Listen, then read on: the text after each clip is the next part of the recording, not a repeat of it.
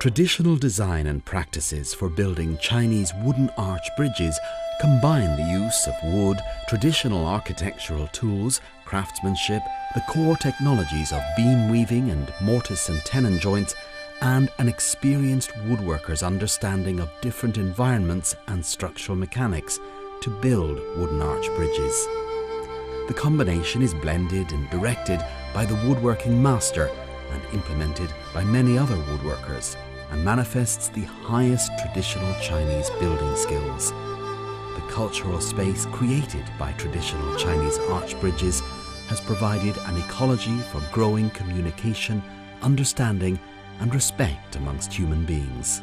This artistry has been practiced in Pingnan County, Shouning County and others since the Song dynasty over 1,000 years ago.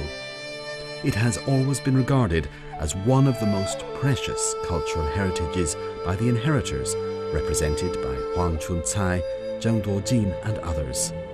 Even today, 110 traditional wooden arched bridges built over various dynastic periods still exist, demonstrating a variety of structures and shapes.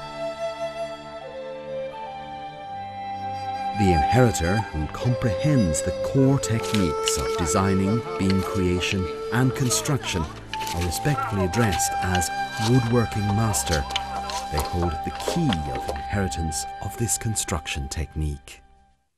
Depending on the particular needs of local people holding a ceremony, recreational activity or exchanging information, woodworking masters might design and build single-arched or multi-arched bridges Taking into account the surrounding topography, hydrology and resources, these could be single-eaved, double-eaved or multi-eaved verandas with two or four pillars according to the requirements of the cultural functions. The bridge construction is a completely manual operation. It includes wrenching, building the bridge abutment and building the arch structure. The building process, known as beam weaving, is as follows.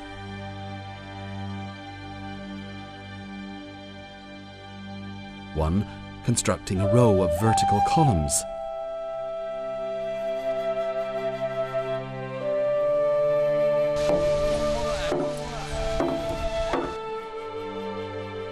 Two, constructing the three row of sticks.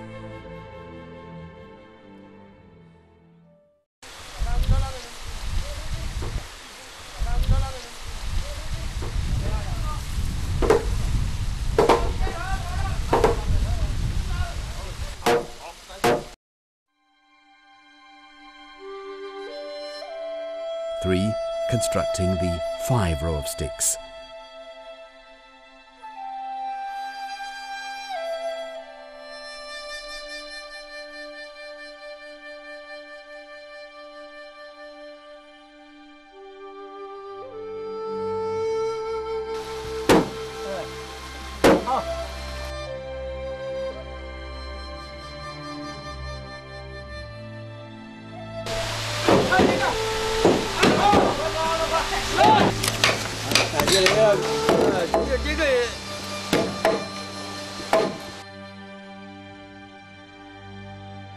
Four, constructing the scissors posts.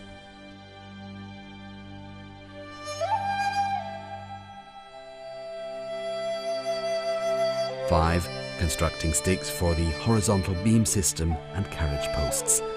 In this way, the intersections and cross support of the straight timber form an approximate deal arch brace. The relatively short timber pieces are connected and gradually stretched with the help of mortise and tenon, which successfully helps the bridge to span the valley and support the load on the bridge floor. The main tools include Luban rulers, carpenter's ink markers, the wooden forecourse, axes, chisels, planes, saws and so on.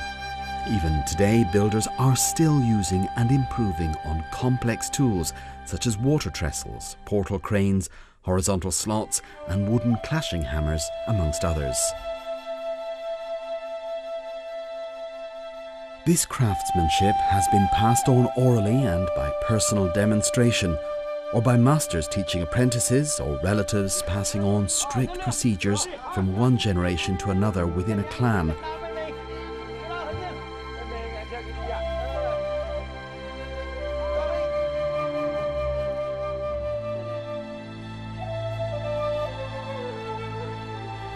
Names and information about the woodworking masters are written on the beams of the arch bridges upon completion in recognition of their participation and contribution and include their choreography and pedigrees.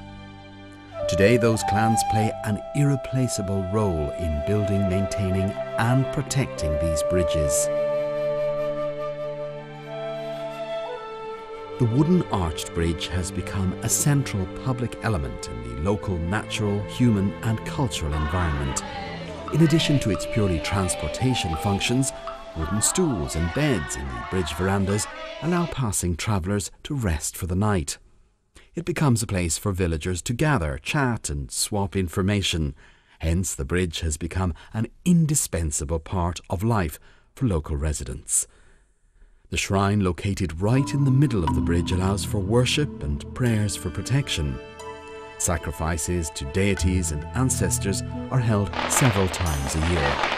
A stage is built at one end of the bridge where crowds excitedly gather during festivals and to enjoy local operas.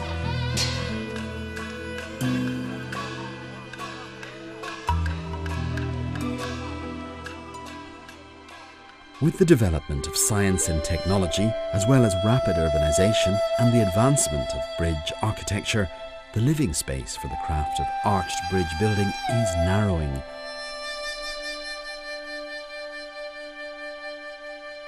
Present, there are only four woodworking masters who possess the key skills of wooden arched bridge construction. The average age of these masters is 75 and there are no more than 20 apprentices actively trying to inherit these unique skills. This reduced number makes the outlook for the survival of the craft look bleak. In an effort to redress this situation, the following steps have been taken. 1. Declaring representative works to be intangible cultural heritage at different levels so that the entire art can be completely protected. 2 setting up a mechanism to ensure the protection of the inheritance of the art. Five craftsmen have been appointed as inheritors of the intangible cultural heritage at different levels. 3. Providing practice sites for inheritors of the art and the opportunity to pass on skills to apprentices. 4. Setting up an exhibition hall showcasing the traditional construction of wooden arched bridges and opening it to the public. 5. Two international academic seminars on wooden arched bridges have been held, one in 2005 and one in 2007. In addition, the following protective measures will be taken over the coming four years. 1. Setting up a medium and long-term protection programme and placing it within the budget of the local social development plan. 2 improving the life and medical insurance system for the inheritors of the skills to relieve them of worries that might distract them from their craft. 3. Setting up of a fund for the traditional Chinese artistry of wooden arched bridges. Most of this has come from donations made by local people. 4. Setting up an artistry training workshop to carry out a training plan for those who will inherit the traditional skills. This unique traditional craft, close to being lost forever, desperately needs our protection so that it will continue to exist forever as a testimony to the ingenuity and skill of our ancestors.